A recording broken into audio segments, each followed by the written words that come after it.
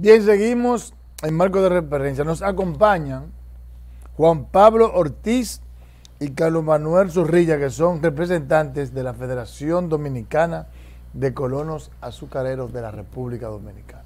Hay una situación que está pasando con la zafra del ingenio Porvenir, que los está afectando a ellos, y vamos a escucharlo para que nos expliquen qué está pasando.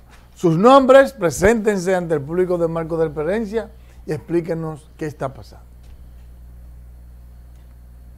Sí, buenos días eh, a todos los televidentes y público en general. Mi nombre es ingeniero Juan Pablo Ortiz, presidente de la Asociación de Colonos de Consuelo y directivo de la Federación Dominicana de Colonos, FEDOCA. Este nos acompaña Carlos Manuel Zorrilla, secretario de la Federación Dominicana de Colonos. Eh, estamos comisionados por mandato de nuestro consejo directivo para eh, aclarar las situaciones sobre la nota de prensa que publicamos la semana pasada en torno a la preocupación por la zafra venidera en el ingenio por venir, la cual debió haber empezado.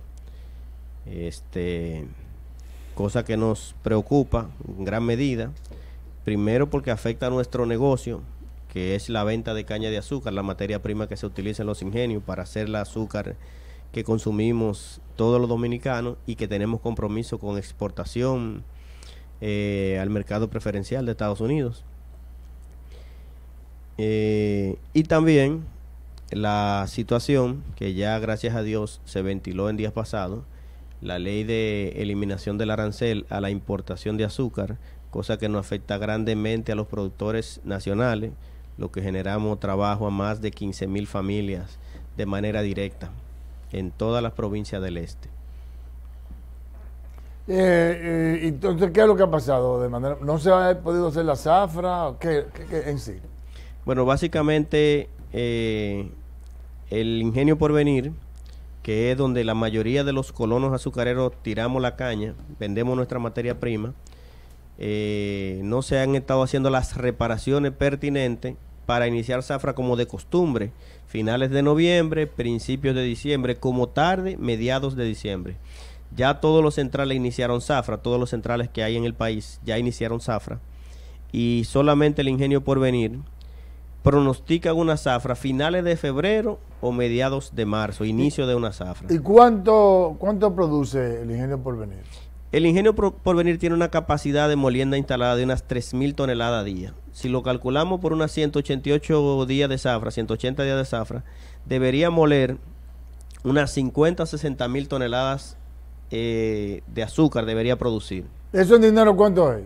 En dinero, ¿cuánto es? Alrededor de unos, eh, está 22 pesos la libra.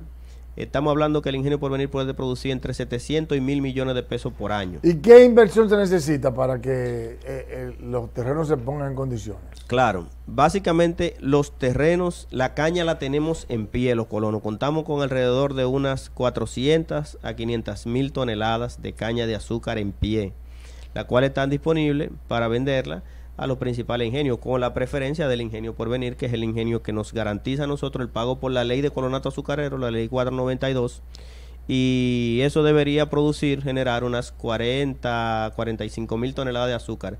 Bien administrado el ingenio. ¿Esa situación había pasado en, otras ocasiones?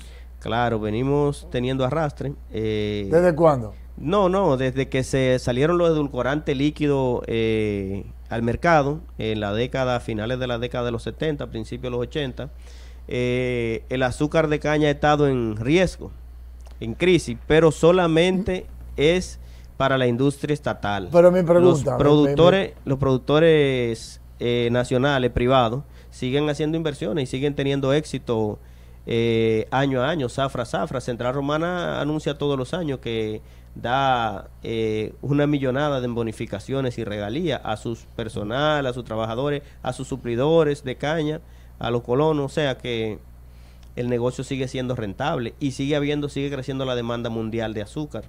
Entonces, el negocio solamente está en peligro para nosotros los pequeños. Ok, porque yo veo que están importando azúcar. Claro, claro. Por una mala planificación eh, en las últimas zafras, el ingenio Porvenir ha venido cayendo en pérdidas eh, y ha reducido su producción. Eh, por ejemplo, en el año 19-20, la zafra 19-20 produjo 19 mil toneladas de azúcar. La 2021 produjo 17 mil toneladas de azúcar.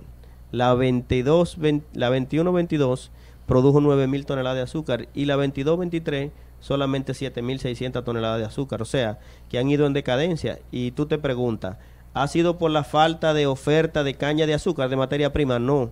Los colonos tenemos en pie unas alrededor de unas 400.000 toneladas de caña de azúcar que le hemos ofrecido año a año.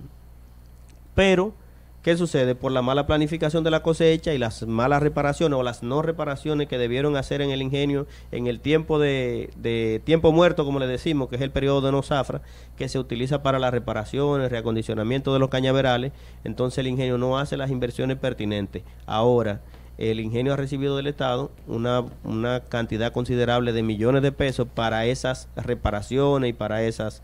Eh, y esas actualizaciones que necesita el ingenio por venir.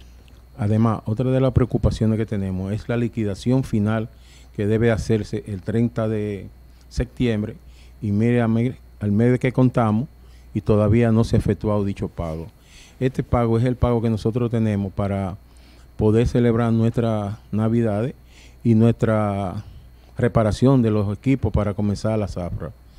Y hasta la fecha, hoy día ya, tenemos promesa de que para el 22 y todavía no se nos ha hecho el pago nosotros las reparaciones que ellos dicen que están haciendo al ingenio, que están prometiendo, no están en la debida inicio. Nada más se han propuesto, pero el ingenio no se está reparando, con lo cual la zafra nosotros tenemos mucha duda de que pueda comenzar. Esto daría un gran golpe a nosotros los productores pequeños, que es lo único que tenemos para nosotros poder vivir en estas cinco provincias del este. Y si no se hace la reparación del ingenio por venir, nosotros no tenemos dónde llevar a cortar nuestras cañas y no podemos seguir en esta incertidumbre. Para eso nosotros tenemos los recursos, que tenemos la caña, tenemos los equipos y lo que nos puede faltar para el ingenio es el, dinero y están los inversionistas y está un fideicomiso que autorizó el presidente a que se haga al, al director del CEA y al del Banco Agrícola y se comenzó en el Banco Agrícola, pero no se le ha dado seguimiento. Con eso nosotros dejaríamos resueltos los problemas de una región este completa que de eso es que sabe vivir y eso es lo que sabe trabajar por décadas de años. Bueno, pues nada, ahí está hecha la denuncia. Vamos a esperar que las autoridades reaccionen.